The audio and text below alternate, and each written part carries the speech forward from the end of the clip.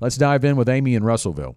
How do you recommend dealing with short and mid-term savings that don't have tax advantaged accounts like saving for a child's wedding or your next car? Should you invest or high yield save? Amy, thanks for the question. I think the first thing you got to ask yourself is what is the timeline here? Everything when it comes to making decisions about how to invest, whether to invest, whether to keep principal safe, or whether to risk it should be determined on a time horizon basis. Now, retirement is one of those things that's a little easier to deal with, right? If you're 35, Amy, and you know you want to retire at 65, you know your time horizon, right? You've got 30 years. It can be a little more difficult when you're talking about saving for a child's wedding or even your next car. Okay, so we realize there's a little bit of wiggle Yeah. room you have to have there. And and even I'll circle back to the retirement aspect because a lot of people coming up to their time of retirement, let's say they're 63 and they're going to retire at 65, then they're thinking I have a short-term time horizon. You do for some of those dollars, but some of them even then you're not going to use for another 20 or more years in retirement. So there's still even then some portion that's going to be short-term and some portion that's long-term. But let's get out of the retirement realm for just a minute and talk about, uh, as Amy has asked, about vehicles and weddings. Um, so let's talk about that time horizon that Scott mentioned. So on a vehicle, how how soon before you're going to need to replace that vehicle? Uh, in in my family, uh, our phrase is we keep until the until the wheels fall off. You know, um, we have a tendency to do that. Our last vehicle we kept right at a decade, and we've we've done that a couple of times. Uh, not to say that we do it with every single vehicle, but for us it usually is quite a bit of time. And so what we'll do is create what's called a sinking fund for that. And basically, while we are driving a paid for vehicle, we are making a car payment to ourselves and just stacking that money up. And for us, we're doing it in a, in a savings um, type of vehicle. So she asked about a high yield savings vehicle. That has been our choice. But if you're saving for something that is for sure a longer term than a five year period, then you may want to actually invest. But we usually don't do that with vehicle money because it might be shorter than you think. Right. I'll, I'll use an example in our family. We were stacking money up years ago for a future vehicle, and then my husband got T boned Mm. and the future vehicle that was going to be, you know, still another three or four years down the road, all became a next week vehicle just at the drop of a hat. And so, you never really know in in that realm how soon you're talking about. So I would tend personally to go to more of a high yield savings for that, even if you think your time horizon is a little bit longer, because you don't want to risk the fluctuation in the market. Yeah, and I would agree with that too, especially in the environment we're in right now. It can be a lot easier to Yeah. be satisfied with a high yield savings Yeah, when interest yeah, rates are you know sure. north of five percent. So I think Amy, when we're talking about the car, that's a great bit of advice there to think about that in high yield savings because of the unknown potential of uh, the time horizon being collapsed into a shorter time frame. And I love the idea of putting a payment uh, into it so that you can kind of predict where you're going to be at a, at a certain point in the future. Now, I, ahead. I'll talk a little bit more about vehicles before we transition on this. Um, we just bought a vehicle for uh, my husband, and we had the, the full amount put back to be able to pay it in cash. And we've done this at other times in the past. You often, if you're buying new, and, and we've bought used a lot as well, but on this one we wound up buying new, and you often will actually get a better deal if you finance it for a period of time. Yeah.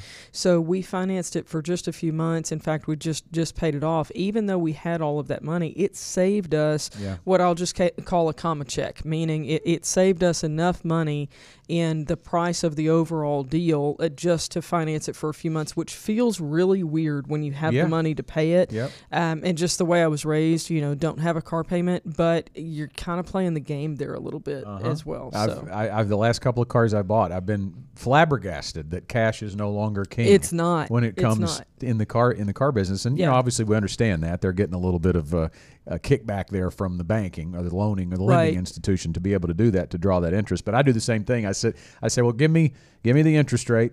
Uh, give me how much you're saving me, and then I do the math. Right? How- Mm-hmm. Yeah. How, much am I going to pay in interest over the next three months? Uh-huh. Well, the first question I ask them is, how much can I pay off in month one? Uh-huh. yeah. because yeah. I'll knock it down to hundred dollars if I have to, right? And Uh-huh. then, then pay interest on that hundred dollars. Uh, but that's a great idea uh, to take advantage of that because typically, it, every time I've done it, same thing. It has been a comma check difference Yeah. um, in the savings on the price of the vehicle. So good advice there. All right, so on the wedding side of Amy's question, that timeline you would think would be a little bit easier, especially if you know the age of your child. Now, you don't know when your child's going to get married, but you know it's not going to be until X date, right? So if your child is younger, I mean, if you're really starting to think about saving for a child's wedding and they're 10, 11, 12 years old, then yes, I think investing it makes sense because you're probably at least on a 10 year time horizon, right?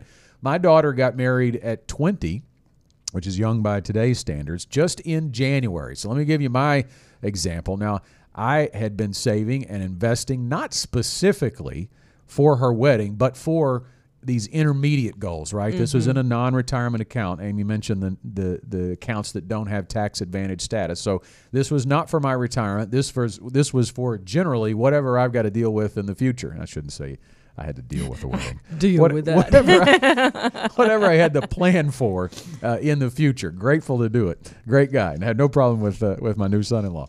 But I began to save and invest that money for a potential time horizon that I knew was down the line in the future. Now, when Abby, my daughter, began to get serious, and certainly by the time she got engaged, that money was out of the market, right? It was Yeah. on to the sidelines and into some CDs in my case, uh, and then eventually um, uh, a money market mutual fund uh, to get that. And, and I was fortunate again that the interest rates were favorable, so I was still drawing some interest on that money. Well, it, it went from a generic future need, Yes. whatever it might be, to a specific with a date Mm-hmm. need. And, and that's when you pulled the trigger on it. Yep. And put it aside because we knew we, and in, and in her case, you know, the other part about that is how much, right? How much do you save for the wedding? I had a budget in mind. We, we went at this a little bit differently than I think a lot of people do. eh, Rather than have a pile of money on the sidelines and then go ask the daughter how much they're going to need and piece that out over a certain amount of time, I told my daughter when she got engaged, I said, Here is the budget. This is X amount for you to spend any way you like on preparing for your wedding. I put it into a joint bank account with her name and my name on it so that she could have the per- she could control the purse strings, right? I have oversight of it. I'm seeing it, but I had hands off on it. This was her deal. And I even told uh, her and her fiance at the time, if you guys choose not to blow the entire budget on the wedding, then you've got money for the honeymoon or you've got money to invest or Yeah, you've got it's- money it's yours. for a Yeah. car. Yep. The money is handed to them to use as they see fit. So I thought it was a great financial lesson for them to learn to prioritize and Mm-hmm. to budget, and it worked out well. They they came in a little uh, short of what, or they kept a little bit more than what they needed.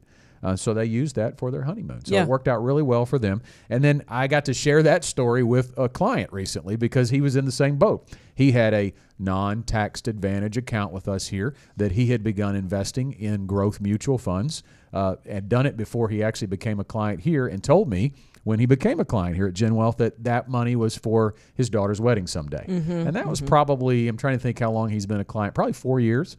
So at that time, he didn't know when that time horizon was going to look like, but he'd been growing it for some period of time. Well, he talked to me last fall. Same thing. My daughter's going to get engaged. Uh, the son, the son-in-law, future son-in-law, came to talk to me over the holidays. He's telling me he's going to pop the question soon. What do we need to do? Yeah. Same thing with him. It's like we. Well, I, don't- I can't help you on the what do we need to do with the wedding part. You're right. But the financial side was we need we need to get out of these growth mutual funds. Right. And we need to park it into something safe to protect the principal, not put it at risk because we know that you're going to need it in a short period short period of time.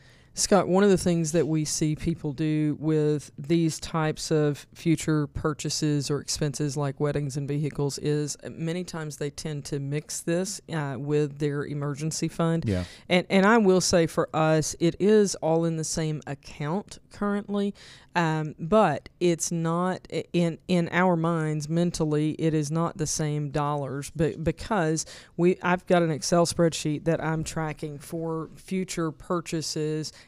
and for the uh, for the portion of it that is our emergency fund. And so at any given point, I can look at the overall balance of the account, but I also know what in that account is our emergency fund. Now, some people, if they if they did it that way, Scott, they would wind up dipping into their Yeah. emergency fund for other things. Uh, we're just not wired that way. So for simplicity's sakes, it, it, it sake, it made it easier for us to have it all in one account that we're tracking. But whatever works for you to be able to keep that separate. hmm And, and John and I talked about this last week with regard to emergency funds. That's got to be a baseline, and it's and the reason is the reason you don't dip unless it's an emergency. Main reason is is because if you go below your threshold, you got to get it back there, right? Yeah. You've got to find a way to get it back there. That's a minimum for sure.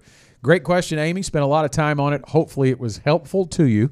And if you've got questions, you can call or text them to us at the following number 501 381 5228. Again, it's 501 381 5228. Whatever money related is on your mind, just call, leave a voicemail, or shoot us a text at that number.